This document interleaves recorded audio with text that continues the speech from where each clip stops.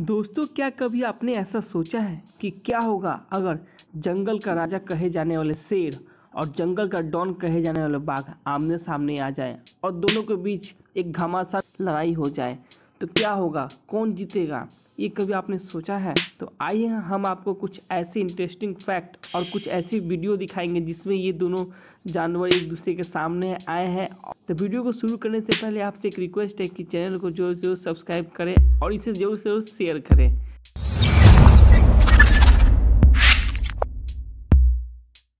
शेर और बाघ, कौन जीतेगा जंग? बाघ अपनी सर्वोच्च शक्ति के साथ दुनिया का सबसे बड़ी बिल्ली है। बाघ अपनी शक्ति के लिए पूरी दुनिया में जाना जाता है। तो दूसरी ओर बब्बर शेर, जो जंगल का राजा माना जाता है। शेर को जंगल का राजा कहा जाता है, लेकिन क्या बाघ के सामने शेर जंग जीत पाएगा? एशियाई शेर गिर के जंगल और गिर के मैदानी प्रदेश में रहते हैं। एशियाई शेर ग्रुप में रहते हैं, जबकि विश्व की सबसे बड़ी बिल्ली, यानी कि बाघ, एशिया के मुख्य भूभाग में रहते हैं। बाघ जो भारत के घने जंगलों में पाया जाता है। एशियाई बब्बर शेर जो कि 190 किलोग्राम से भी ज़्यादा भारी हो सकता है, जबकि बाघ 325 किलो तक भारी हो सकता है।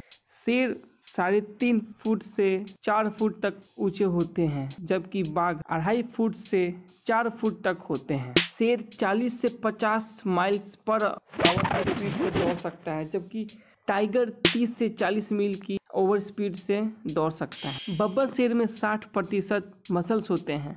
वहीं दूसरी तरफ़, बाघ में 60 से 70 प्रतिशत मसल्स होते हैं। मसल्स की बात करें तो बाघ शेर से ज़्यादा अधिक शक्तिशाली होता है। बब्बर शेर के किनाइन दांत तीन इंच के होते हैं और bite force 650 pound force per square inch की होती है। वहीं दूसरी तरफ़, बाघ की बात करें तो इसके साढ़े तीन इंच के किनाइन दांत होते हैं और एक हज़ार pound force per square inch के बाइट फोर्स होता है। दोनों के परिच्छेद अलग अलग हैं, लेकिन अब सवाल है कि जीतेगा कौन?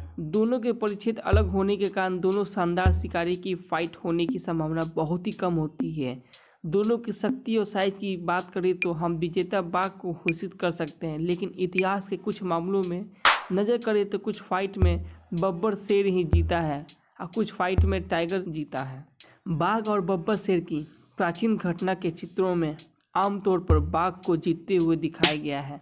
1800 के अंत में बड़ोरा के महाराजा सयाजीवराव गायकवाड़ तीसरे ने बाघ और बब्बर की शेर की लड़ाई करवाई थी। यह लड़ाई की बब्बर शेर अफ्रीका से मंगवाया गया था, जिसका नाम एटलस था और वो बाबरी लायन था, जबकि बाघ भारत के शिमला से लाया गया था। दोनों के बीच भिड़ंत हुई और बाघ ने बब्बर शेर को मार डाला।